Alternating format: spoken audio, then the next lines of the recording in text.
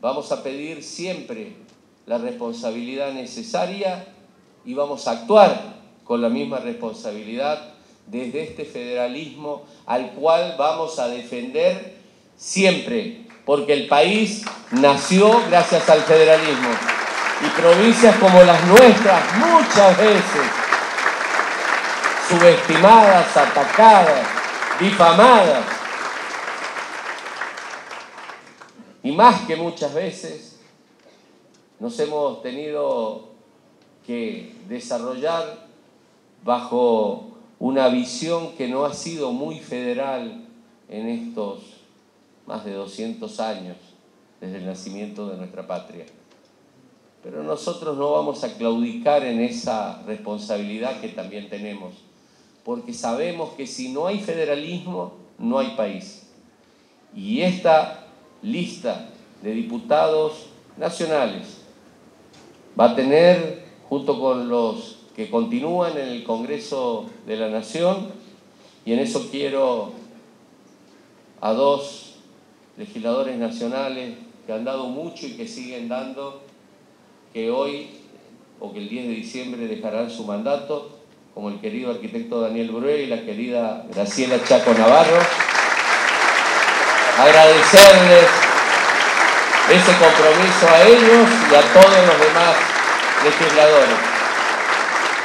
porque han contribuido a que fortalezcamos este proyecto político provincial. Nosotros no le vamos a pedir a los santiagueños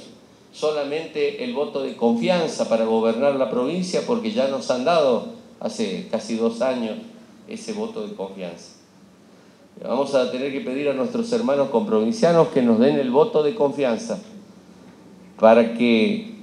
Ricardo Daives,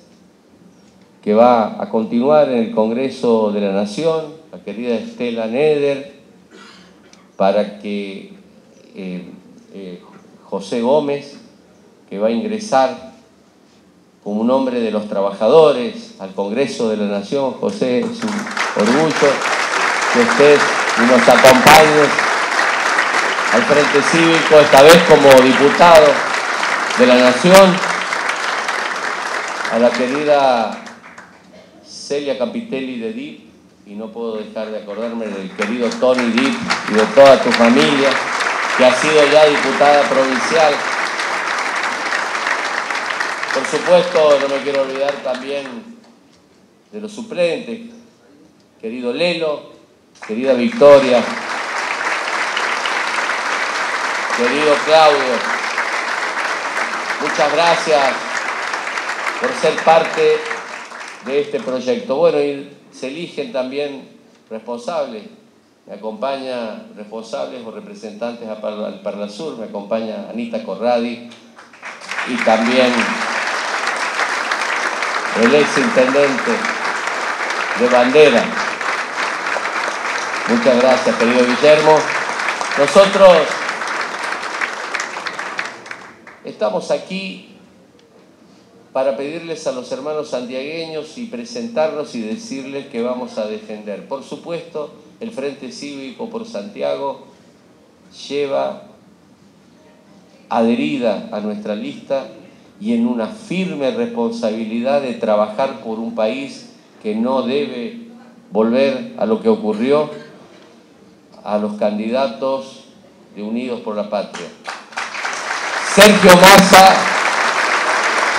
y Agustín Rossi, para quienes trabajaremos en agosto y octubre para que puedan llevar adelante la presidencia y vicepresidencia de nuestro país a partir de diciembre del año 2023, convencido de que no solo sintetizan la unidad de esta fuerza política, que con errores y con aciertos a nivel nacional ha tenido que sobrellevar muchas cosas. Desde aquí, desde Santiago del Estero, los vamos a acompañar. Pido a todos los dirigentes el esfuerzo de llevar adelante nuestra propuesta y la propuesta de Unidos por la Patria, a todos los militantes y a todos los hermanos santiagueños que consideren que con las dificultades del caso y los errores que podamos tener, porque todo lo que hacemos está a la vista y ya no somos la provincia de hace 18 años y no seremos la provincia del futuro si en este presente no nos comprometemos. El Frente Cívico por Santiago tiene este compromiso